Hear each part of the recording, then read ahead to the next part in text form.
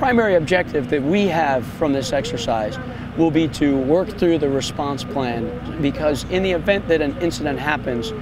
we're going to have to respond on very short notice because the saving of life and property is something that you only have a few hours after the incident occurs in order to help folks get back to, to, to some type of a level where they can actually manage the incident within their nation. And so we will do some things right and we will do some things wrong. But everything that we learn here will uh, help us develop a more effective response strategy as we move forward. And so that's the goal of this exercise, is to test the processes that we have in place, to find those areas of weakness so that we can then develop strategies to make things better. And at the end of this, we will come out as a much stronger team that will be capable to handle just about any contingency that can be thrown at us.